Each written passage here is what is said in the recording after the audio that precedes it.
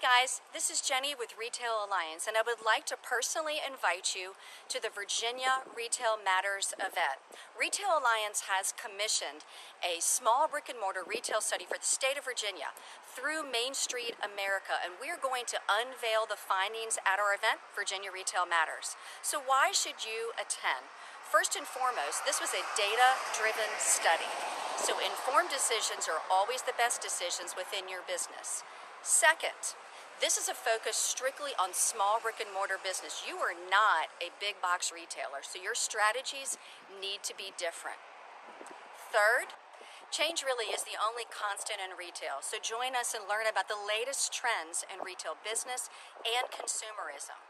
Also, join us for our legislative outlook for 2024 by our Virginia Retail Federation lobbyist. This will give you an opportunity to lend your voice as you learn about what policies to follow going into the new year.